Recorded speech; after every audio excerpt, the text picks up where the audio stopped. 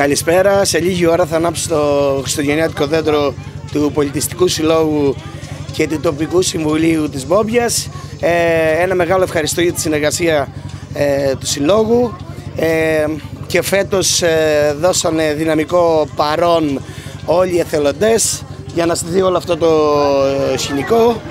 Ε, εύχομαι καλές γιορτές, καλή χρονιά σε όλο τον κόσμο, με υγεία.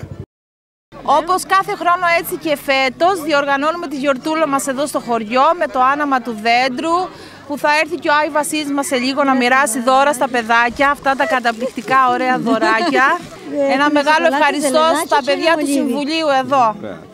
Συλλογική προσπάθεια, μπράβο τους και του χρόνου, να είμαστε καλά. Και του χρόνου, και του χρόνου. Όπως βλέπετε, είμαστε σε αναμονή να ανάψουμε και φέτος το, το χριστουγεννιάτικο μας δέντρο, το οποίο είναι εξαιρετικό. Έχουμε κάνει μια πάρα πολύ καλή προσπάθεια εδώ να οργανώσουμε την κατάσταση. Ήρθε και το κρύο επιτέλους, που μέχρι προχθές είμαστε στις θάλασσες. Ελπίζουμε να περάσουμε όλοι καλά και πρωτίστως τα παιδιά, τα οποία για, για, αυτό, για αυτό γίνεται ο λόγος. Ευχαριστούμε πολύ, χρόνια πολλά, υγεία για όλο τον κόσμο. Είμαστε από το Γελ Πόμπιας.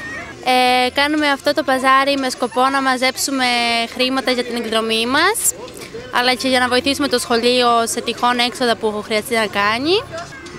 Εύχομαι καλές γιορτές να περάσετε όλοι με υγεία και αγάπη. 5, 4,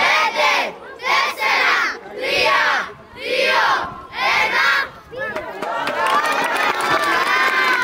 1. Καλό σας βρήκα στο χωριό σας να είστε καλά όλα τα παιδάκια, να έχετε υγεία, καλό σχολείο και να αγαπάτε τους γονείς σας και να τους ακούτε.